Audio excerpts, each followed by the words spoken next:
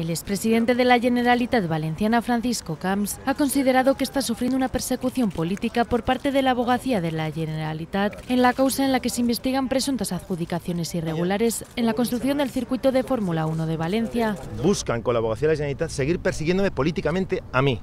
es una vergüenza y un escándalo y un escarnio para todos los valencianos que estén utilizando la parejita a la abogacía de la Generalitat. Camps se ha pronunciado así a su llegada a la ciudad de la justicia de Valencia, donde ha acudido para declarar como investigado ante la jueza que investiga presuntas irregularidades en las contrataciones de la Fundación Quinto Encuentro Mundial de las Familias para la visita del Papa Benedicto XVI a la ciudad. El interventor de la Generalitat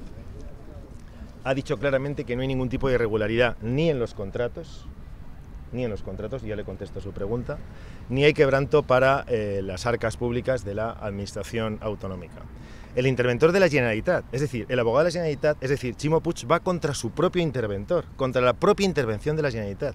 El expresidente se ha referido de este modo al escrito de acusación preventiva que en la tarde de este pasado martes presentó la abogacía de la Generalitat en la causa del circuito de la Fórmula 1 contra el mismo y otros empresarios y altos cargos del Consell y que se encuentra pendiente de que la magistrada resuelva definitivamente su petición de completar la prueba pericial de la causa, una solicitud que el instructor ha rechazado y esta acusación ha recurrido. El señor Puig tiene la costumbre siempre de recurrir mis absoluciones y mis archivos. Hasta ahora lo hacía con abogados pagados por él o por el Partido Socialista y ahora lo hace con el abogado de la Generalitat eh, valenciana. Lo que tendría que hacer hoy mismo el señor Puig es pedir perdón a los valencianos porque no puede utilizar a un órgano independiente que se creó además en la época en la que yo era presidente, un órgano independiente para su propio eh, beneficio. De esta manera, para la abogacía existen indicios de delito de prevaricación y malversación en la actuación de Camps.